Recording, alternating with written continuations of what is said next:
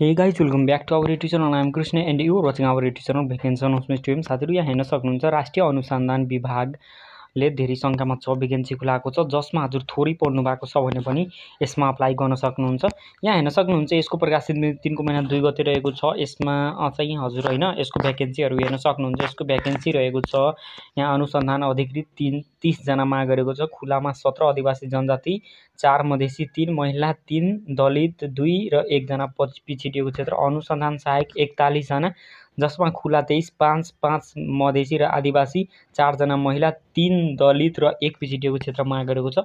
अनि अनुसन्धान अधिकृतमा अप्लाई गर्नको लागि हजुरले कमसे कम होइन ब्याचलर डिग्री कम्प्लिट गरेको हुनुपर्छ र अनुसन्धान सहायक पदको लागि प्लस टू कम्प्लिट गर्नुभएको छ भने अप्लाई गर्न सक्नुहुन्छ। अनि यसको दरका यो दस्तुर पनि भनेको छ छनौट हुने सालको वैशाख एक गते पुरुषको हकमा ए उमेर भनेछ। यसमा यो अनुसन्धान सहायकको लागि अठार वर्ष पुरा भई पच्चिस वर्ष ननाएको हुनुपर्छ। साथै अनुसन्धान अधिकृतको लागि एक्काइस वर्ष पुरा भई पच्चिस वर्ष ननाएको हुनुपर्छ। परीक्षाको किसिम भनेको अनुसन्धान अधिकृतको लागि यहाँ दिइएको छ। जुन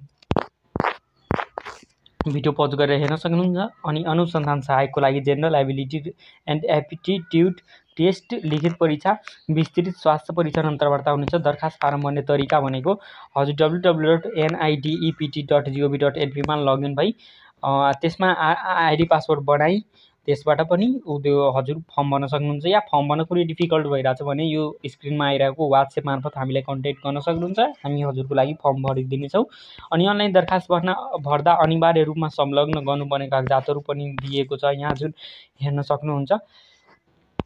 अनि पाठ्यक्रम हजुर W W dot N I D E P T dot G O V dot N P slash क्यारियरबाट download गर्न सक्नुहुन्छ। अनि यसको दस्तुर यहाँ दस्तुर पनि दिएको छ अनुसन्धान सहायक पदको लागि तिन सय रुपियाँ र थप समूहको लागि साठी रुपियाँ रहेको छ अनुसन्धान अधिकृतको लागि एक हजार र थप समूहको लागि दुई सय रुपियाँ भनेको छ। अनि यसमा अप्लाई भनेको हजुर चाहिँ दरखास्त गर्ने अवधि भनेको तिस दिनभित्र होइन आजदेखि तिस दिनभित्र तिनको महिना एकतिस गतिसम्म अप्लाई गर्न सक्नुहुन्छ। अनि परीक्षा केन्द्र भनेको काठमाडौँमा रह यो परीक्षा केन्द्र भनेको धनकुटा जलेश्वर हेटौडा काठमाडौँ पोखरा बुटवल वीरेन्द्रनगर र धनगढीमा परीक्षा केन्द्र राख्न राख्न सक्नेछ। आयोगबाट तोकिएको स्थानमा परीक्षा केन्द्रहरू काम गरी लिखित परीक्षा सञ्चालन हुनेछ।